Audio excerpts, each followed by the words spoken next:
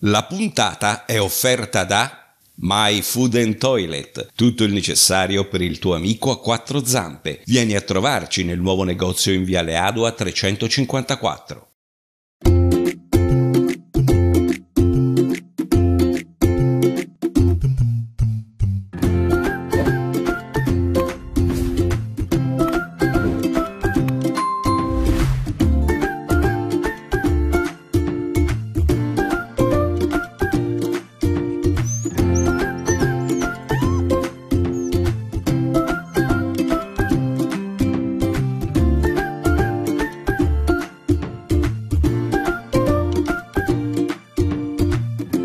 Bentrovati a tutti e a tutte nel salotto di Amici per sempre, seconda stagione e sono passati pochi mesi e le cose sono un po' cambiate perché Monet nel frattempo ha trovato la fidanzata, si sono accoppiati, hanno avuto cinque, cinque bimbi, usiamo questo termine, insomma eh, ormai è stato sdoganato nel, nel mondo de, de, de, degli esseri umani nei confronti degli animali, ha avuto cinque cuccioli, tre maschi e due femmine e adesso sono qui in giro per, per il salotto, il salotto degli animali, ma come tutti i salotti ci sono gli ospiti e oggi ho un, un, amico, un collega, Enzo Bucchioni. Ciao Enzo. È un grande piacere, ben trovati a tutti. Ciao Barbara. Ma sei diventato tifoso della Fiorentina poi? No, tifoso no, eh, io faccio parte di una generazione di giornalisti che non avrebbero dovuto essere mai tifosi, il famoso giornalista super partes. Anche Valenti che... sembrava, poi dopo a fine carriera disse che era tifoso della Fiorentina, Ma infatti, ricordi, no? infatti la scuola e la generazione è quella lì, ora Valenti era un po' più eh, anziano di me, però la cultura meglio era quella lì. Il giornalista non doveva tifare per nessuna squadra, addirittura ti posso raccontare che c'erano alcuni che eh, andavano oltre, ma eh, in tribuna stampa venivano buttati fuori. Se c'era qualche giornalista che esultava per un gol, e c'erano le maschere che dicevano scusi ma lei, lei, è giornalista o viene qui a fare il tifoso? Ecco allora si accomodi. Io ho visto delle scene di questo tipo, oggi sembrano eh, surreali, inventate, ma cosa stai dicendo? Era così, io sono rimasto legato a quel tipo di cultura, poi abito a Firenze da 35 anni, se la Fiorentina vince ovviamente la città è felice, siamo tutti felici perché c'è questo connubio strettissimo fra Firenze e la Fiorentina che è difficile ritrovare in altre città. A Firenze così, quindi meglio che vinca la Fiorentina, eh, eh, voglio dire, porta energia, porta... e quindi coinvolto in questo, sì, ma professionalmente io non tifo per E allora, nessuno. nessuna squadra eh, che insomma, tu ammiri, no? Però hai sì. ammirato... Oh, ne ammiro tante. Sì, però ne hai ammirato... Tante consentimi l'assist, tre personaggi, sì. perché tu hai scritto tre libri su tre eh, personaggi del calcio. Sì. Ha iniziato con Serse Cosmi, con il quale ha vinto anche il premio Bancarella. Sì, nel 2003. Sei passato a Luciano Moggi, sì. personaggio insomma mm, forte, forte eh, a volte scomodo, però insomma sì, forte. ma ti posso spiegare perché. E poi Luciano Spalletti. Mi dici sì. perché hai scelto questi tre personaggi e che cosa li accomuna? Ma eh, li accomuna forse l'essere un contro, perché tutte e tre se pensi sono personaggi contro eh, mi intriga il fatto che non sono nessuno dei tre personaggi banali, perché sono dei personaggi eh, che ti fanno emozionare poco o che ti fanno discutere poco. E questi sono personaggi eh, che cominciavo da Serse Cosme. Quando è arrivato alla ribalta del calcio era un personaggio naif. Eh, ricorderete Crozza eh, fu una delle prime imitazioni che fece la fortuna anche di Crozza perché era un personaggio che veniva dai dilettanti, lei è nato in quel mondo lì e ha portato il suo dilettantismo ad altissimi livelli, facendosi da solo, pur con le contraddizioni, infatti poi a un certo punto eh, non ha fatto la carriera che avrebbe potuto fare Serse per le sue qualità. È perché poi se non hai un background, come si dice, se non hai... non sei strutturato... Strutturato anche per le pressioni, le tensioni, l'alto livello, il personaggio era intrigante per questo, certo. qualcuno che si è fatto da sé. Ecco, forse anche questa può essere la matrice di tutti e tre i personaggi. Eh, Moggi poi è venuto fuori nel 2007. Ex ferroviere che poi è Ex diventato... ferroviere che poi è diventato quello che è diventato. Ma re. guarda, forse sono anch'io un po' contro, devo dire la verità, quindi mi intrigano i personaggi contro. E contro nel 2000... Quindi ti identifichi un po', nel senso proprio... Non per la pelata. no. Sarebbe no, facile con Spalletti. Proprio perché ti senti un po' contro il sistema, comunque sì, non tanto il sistema ma contro mh, certe, certi Guarda- stereotipi, ecco. Brava, perché io ho questa cultura giornalistica della strada e cosa ti insegnavano una volta? Verifica le cose. C'è una fonte, ma non credere alla fonte. Vai a vedere se dietro c'è qualcosa, il rovescio della medaglia. Questo secondo me deve essere il lavoro del giornalista. Certo. E nel 2006, quando scoppiò Calciopoli, era facile dire eh, Moggi è tutto quello di male che si può dire, mettetelo in galera, fate tutto quello che scoppiò nel 2006, lo, lo ricorderete benissimo, anche se sono passati tanti anni, lo ricordiamo. Fu un, un qualcosa che eh, divise il mondo del calcio, Certo. portò la Juventus in Serie B, un fatto... Ma io mi sono chiesto, eh, leggendo, eh, io cosa ho fatto di diverso dagli altri? Credo. Ho letto tutte le intercettazioni, roba da diventare matti. Mamma mia, poi ne torni- torniamo sull'argomento, eh, Sì. perché mi E piace, poi- mi piace poi Spalletti- approfondirlo. E poi anche Spalletti, l'ultima. Perché Spalletti? Io l'ho scritto prima che diventasse CT della È una Nazionale. scommessa vinta, te l'ho detto in più di una circostanza, eh, perché hai puntato su un, su un personaggio che poi è diventato insomma, quello che è diventato, insomma, il tecnico della nazionale. Ma anche lui era un po' contro, perché Spalletti non era percepito, fino agli ultimi successi allo scudetto, non era percepito come un grande allenatore. Scrivendo la sua storia scopri che è un grande allenatore. Ora lo dicono tutti. Qui siamo nel mondo degli animali, nel Sì. salottino degli animali. E tu hai un, un cane, vero? Io ho un golden retriever di due anni e mezzo. Si Ho chiama capito. Sole. È una Bellissimo. femminuccia meravigliosa. Sì, femminuccia meravigliosa vista, eh, che, ha portato, che ha portato tanta gioia nella mia casa, dove gli animali erano entrati da poco, anche due gatti. Ah, ho capito. Due gatti e poi è arrivato Sole che è diventata la padrona di casa. Meraviglioso questo, questo nome, meraviglioso. Senti, c'è una curiosità, perché qui c'è anche lo spazio dedicato all'esperto, Sì. no? c'è una curiosità che tu vorresti porgli e, e- e- e lui in qualche maniera eh, ti racconta quale potrebbe essere la soluzione, no? Ma sì, una discussione attorno a come gestire l'animale è sempre sull'alimentazione, perché parlo del mio cane, eh, tende un po' a ingrassare, cioè, eh, quindi eh, mia moglie è molto attenta all'alimentazione, a volte io mi concedo qualche deroga perché eh, quando ti guarda con questi occhioni e dice ma non Eh, me lo sì. dai a me, e allora qualcosa gli do. Ecco, questo timore, fra l'altro sterilizzata la, la cagnolina, Ecco. e quindi può ingrassare, come va alimentata? Questo è sempre un grande tema che coinvolge anche Gli esseri ani- umani. gli animali diversi che siamo noi, però eh, a volte vedi dei golden un pochino eh, sovrappeso, un po', Ma che io- poi faticano anche a camminare. Ma io ti do le risposte, ma soprattutto è il nostro esperto che ce le dà. Sentiamo. L'obesità, cos'è l'obesità? Un po' è la stessa cosa che accade nell'uomo. Eh, è una patologia eh, importante, è una patologia nu- nutrizionale dove, eh, la dove la caratterizzazione principale è un accumulo, eh, un accumulo di grasso. Eh, è una patologia come tantissime altre patologie che vede nella prevenzione l'arma migliore. Purtroppo però eh, è difficile che eh, un proprietario accetti che il proprio cane sta ingrassando, magari arriva quando il, il problema, il problema c'è già e questo è un problema che poi si va a riflettere su tutto il benessere dell'animale e purtroppo a volte anche sulla longevità dell'animale. Non è solo il peso dell'animale che ci dice che l'animale è grasso, ma è proprio la sua silhouette, cioè come è fatto. Un cane che ha, una te- ha la testa, collo- si stringe al collo, si allarga al torace, poi si stringe nel- a livello dei fianchi e si riallarga a livello delle cosce, è un cane ben fatto. Difficilmente si può parlare di... eh, di, obes- di obesità, ma quando si cominciano a non vedere più le costole e questa fossa del fianco eh, è eh, riempita da, da tessuto adiposo e si può cominciare a parlare di, eh, di- obesità. I fattori di rischio che eh, sono eh, legati un po' all'obesità sono diversi, addirittura la razza. In questo caso il, go- il Golden Retriever è un cane che, come il Labrador, tende facilmente ad, aument- ad aumentare di peso. Lo Springer Spaniel, altra, altra razza, un po' tutti molossoidi. Poi il sesso, generalmente le femmine tendono a ingrassare più, più dei maschi.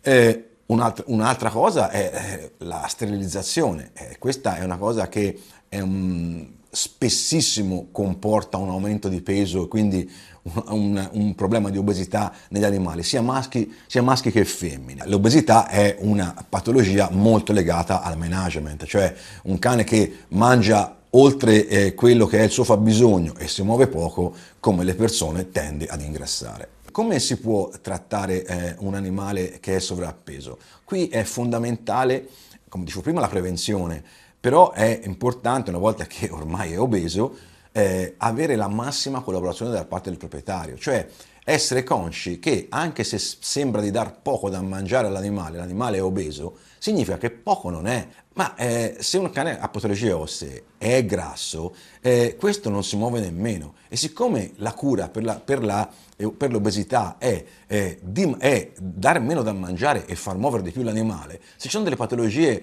ossee, l'animale si muoverà ancora di meno e quindi ingrasserà ancora di più e quindi dovremmo darle ancora meno da mangiare, ma a tutto c'è un limite. Enzo, vedi come siamo sì. efficienti? A domanda subito risposta. Sono venuto apposta. Dovevo, apposta. dovevo chiarire dei dubbi e qui li ho chiariti. Ora vado più tranquillo, qualcosa gli possiamo dare a questo certo. povero cane. Ripeto, io lo faccio perché è tenerissimo, non, non si può non Quando ti guardano con quegli occhi veramente... Poi lascio misurare tutte le cose a mia moglie, quanti grammi, quanti... e questo lo fa lei, io sono un pochino... Con te gioca e con lei invece si alimenta. Sì, infatti questo è uno dei cruci di mia moglie, ma come? Il mio cane viene da te, e viene da te probabilmente perché... È perché è una femmina viz... che è innamorata del suo, del suo proprietario. Qualche Senti, volevo dire, chiederti, hai un aneddoto da raccontarci che è legato proprio a Sole? Ma guarda, io eh, ti, ti, dico la verità, eh, gli animali in casa prima di questo ho fatto sempre un po' fatica perché per il lavoro che ho fatto, la gestione, è, un impegno per gli animali, quindi non, non l'ho mai voluti. Ora eh, è stato veramente un qualcosa di inaspettato. Che cosa ti Andare... ha fatto cambiare idea? Mia moglie, mia moglie.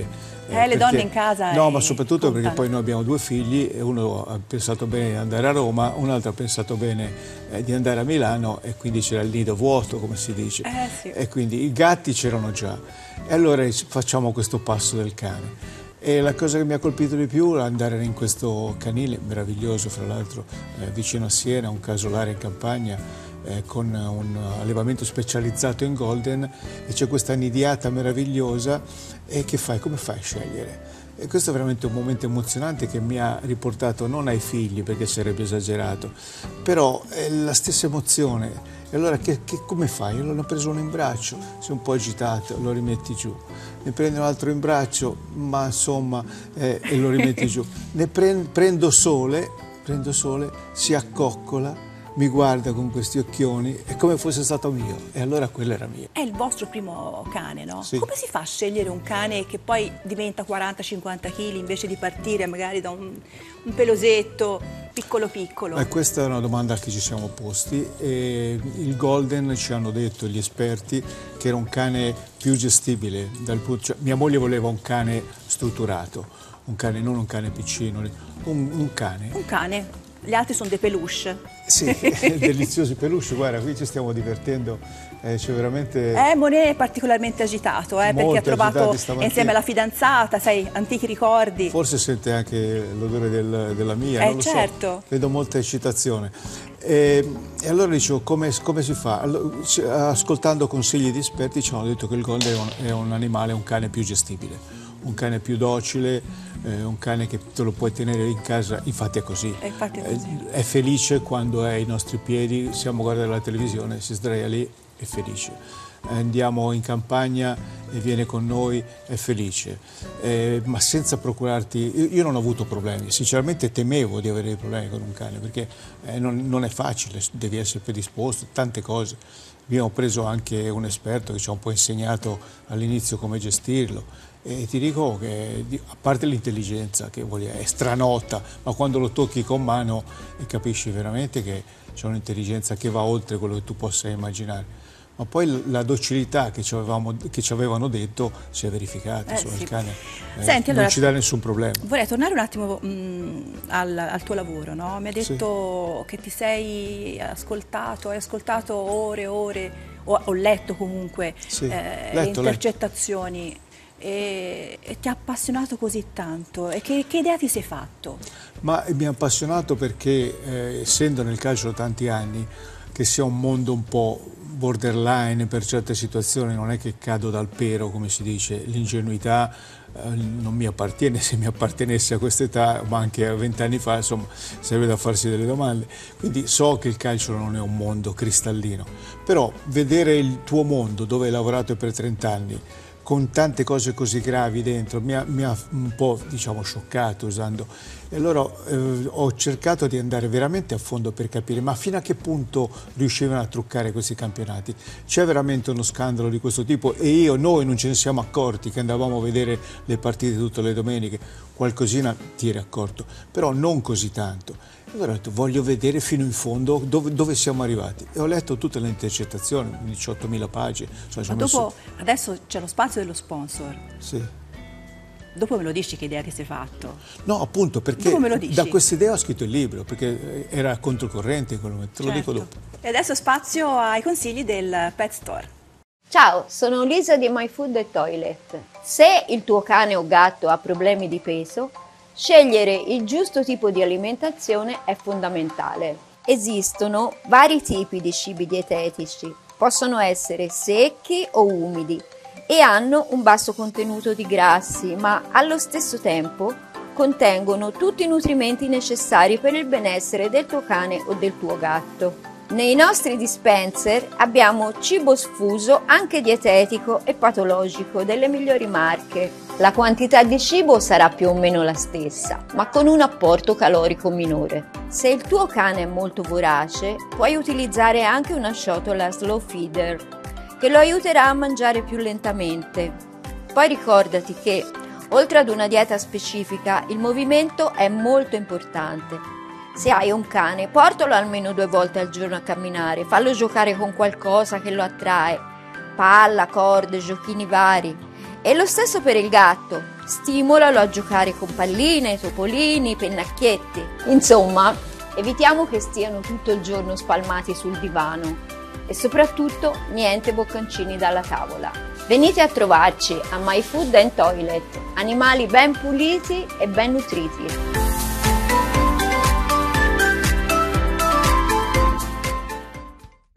Bene, intanto sono qui con Lachi. Allora, vogliamo bere qualcosa, dai? Ma sì, fammi fare il cavaliere, dai. Eh, d'altra parte siamo in un salottino, ecco. Senti, allora, ehm, vorrei... alla salute.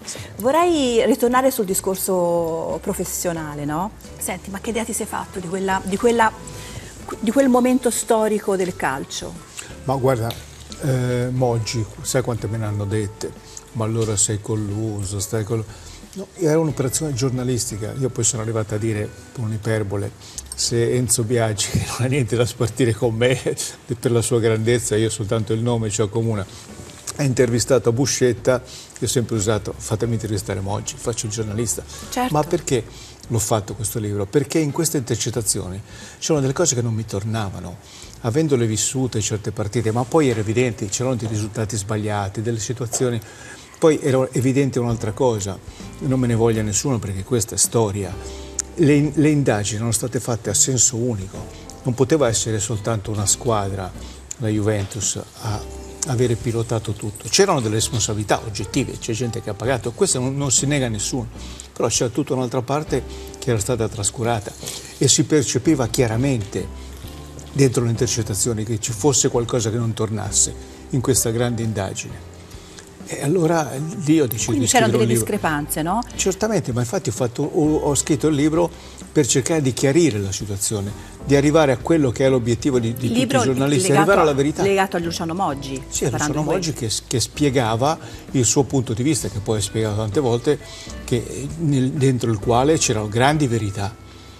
Lui ritiene di non essere responsabile di nulla, ma questa è la sua versione, le sue responsabilità non si possono nascondere. Però c'era, come dicevo prima, l'altra faccia della medaglia che io da giornalista, facendo un'opera giornalistica, sono andato a scavare. Ecco, non certo. è stato un libro per fare l'elegia di Moggi o dire un santo, no, È un'indagine no. che tu hai fatto e l'hai voluta raccontare. Alla ricerca di cosa? Alla ricerca della verità, certo. anche in un fatto di, di cronaca così clamoroso che, allora torniamo al discorso, non è forse mai come te la raccontano. Ma sono tanti anni no, ormai che sì. sei nel mondo del calcio, Ahimè. ma te la sei fatta un'idea? Quale potrebbe essere la tua squadra ideale? Ma dal punto di vista emozionale, dal punto di vista effettivo è la nazionale del 94 dei mondiali, quella che poi finì ai rigori a Pasadena in quel mezzogiorno di fuoco perché era veramente un caldo infernale con le lacrime di Baggio, le lacrime di Baresi, di quei rigori lì. Quindi prenderesti la squadra tutta in un Fra l'altro sono i 30 anni, nel luglio prossimo Ecco. sarà 30 anni di, que- di quella giornata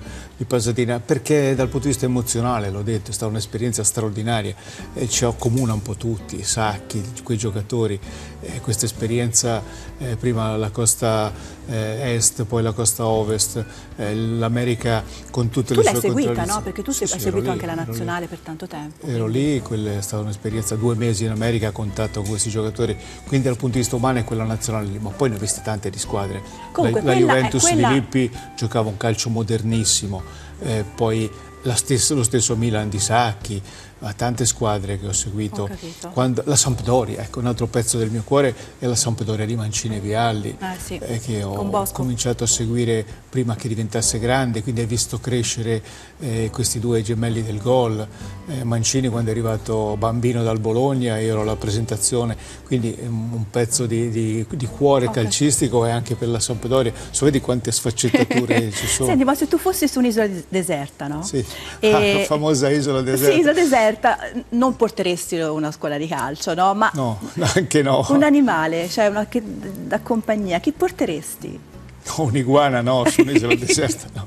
Ma non posso tradire la mia sole, l'abbiamo appena presa. Sole da tutti i Ent- punti di vista, Ma sole, lì sa- ci sarebbe opportuno, un'isola deserta, il sole c'è di sicuro. Io mi porto il mio sole, il mio sole personale, Che particolare, che mi illumina, come ci illumina la casa tutti i giorni. Perfetto, senti, io Enzo ti ringrazio, il nostro spazio è finito. Grazie a voi, E grazie a te. sempre- Spero che tu sia sempre stato bene. un piacere incontrarti questi grazie mille, meravigliosi grazie. salottini. Siamo a casa. Siamo a Quando casa. C'è Barbara, siamo a casa. Siamo a casa.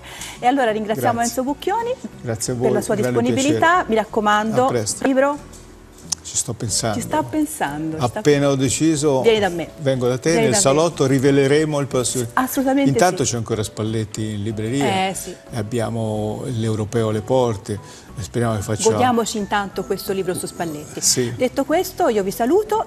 Ancora Grazie, Enzo e saluto tutti i nostri telespettatori, i ragazzi sono in giro, prossimamente vedo, vedo, li vedrete ancora qui eh, nel, nel loro salotto d'altra parte e ci vediamo alla prossima puntata. Ciao! Ciao. Sono Federica del Rifugio del Cane. Oggi voglio parlarvi di Maya, questa bella ragazza qui da noi da la scorsa primavera. È arrivata con i bimbi, i bimbi sono già a casa, è più facile piazzare i bimbi che non la mamma. È un cane, diciamo, di una certa eruenza, così come sono questi animali. Però l'equazione eh, cane grosso, cane pericoloso è sbagliata, ogni cane ha il suo carattere, ha il suo modo di essere, così come lo abbiamo noi umani. Per cui non posso dire grosso sarà pericoloso, no, Eh, la sua eh, pericolosità sarà del padrone che sarà in grado di gestirla, lei di pericoloso non ha niente. È chiaro che è un cane che ha bisogno dei suoi spazi, in un appartamento ci sta un po' più scomoda, però una volta adottata eventualmente potrà seguire un percorso qui con la nostra educatrice che sarà in grado di darvi indicazioni più precise nel come tenerla e contenerla. Una volta adottata secondo me sarà in grado di dimostrare tutto l'amore che ha anche per dimenticare il suo passato perché molte volte questi animali hanno un trascorso brutto e qui da noi cercano una rivalsa. Breve appuntamento, potete venire a conoscerla tranquillamente e saremo in grado di darvi indicazioni anche più precise. Grazie a tutti come sempre, ciao!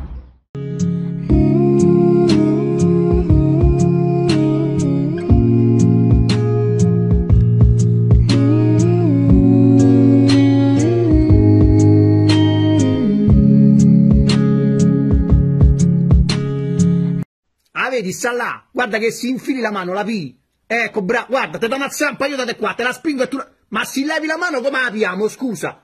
Porca puttana, devo fare sempre tutto io qua dentro, guarda. Se fosse una volta mi riesci a dare una mano, va. Stinghi